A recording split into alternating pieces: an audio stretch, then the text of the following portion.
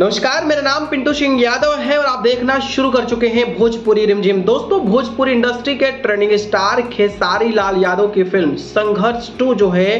वो पूरे देश में चर्चा का विषय बनी हुई है। टाइगर श्रॉफ के फ़िल्म को भी कई जगहों पर ये फ़िल्म पछाड़ती नज़र आ रही है और इसमें और भी आग में घी झोंकने का काम खेसारी लाल यादव ने कर दिया है। जी अब बात करें तो आपको पता होगा कि 20 अक्टूबर से दुर्गा पूजा के मौके पर पूरे देश के कई सिनेमाघरों में तकरीबन 50 प्लस सिनेमाघर, चाहे वो बिहार हो, उत्तर प्रदेश, झारखंड, दिल्ली, पंजाब या फिर मुंबई हो। वहाँ के तमाम सिनेमाघरों में इस फ़िल्म को रिलीज़ किया गया है और बिहार से ही 35 सिनेमाघरों का लिस्ट आया है और तकरीबन सारे आंकड़ों को मिला दिया जाए तो 50 प्लस सिनेमाघरों में खेसारी लाल यादव के इस फ़िल्म को रिलीज़ किया गया था और जिस तरीके से 20 तारीख को खेसारी लाल यादव पटना हो, छपरा हो, इक्कीस तारीख को आनंद मंदिर सिनेमा हो, इसके बाद स्टेज शो और पब्लिक इवेंट्स में भी खेसारी लाल यादव लगातार संघर्ष टू को लेकर बातें कर रहे हैं और जिस तरीके का माहौल नज़र आ रहा है वो वाकई चौंकाने वाला है और इस तरीके की चीज़ें भोजपुरी इंडस्ट्री में बहुत कम देखने को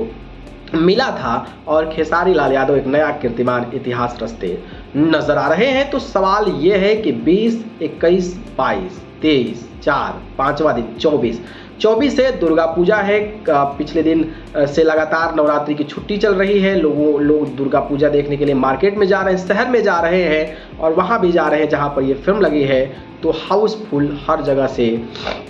नज़र आ रहा है और मिली जानकारी के अनुसार जो पाँचवें दिन का आंकड़ा है, वो एक करोड़ रुपए के पार कर गया है। जी हाँ बात करें तो खेसारी लाल यादव के इस फ़िल्म का आंकड़ा जो है, वो कोई ऑफिशियल नहीं है, लेकिन जिस तरीके के अनुमानतः, टिकट और जिस तरीके की सीट्स है, उसके अकॉर्डिंग अगर बात किया जाए